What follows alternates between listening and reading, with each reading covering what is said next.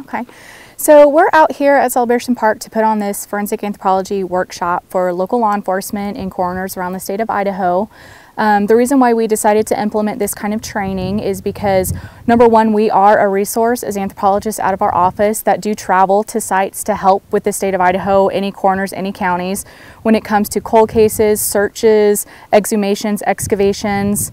Um, one of the things that we found when we were working with some of our local law enforcement was that there were some, some problems that Idaho faces. Um, one of the big things that we're trying to do is get the communication open between agencies. We work with a lot of different agencies, the Bureau of Land Management, who works with the Native Americans, um, local law enforcement that works with crime scenes. So you have two kind of ends of the spectrum. So we want to be able to make sure and try and find a way to bridge those gaps, open the communication, communication and show people that we are here to help and that we're not going to take over and that we just want to bring education to the state of Idaho to see if we can get some standardization when it comes to anthropological cases.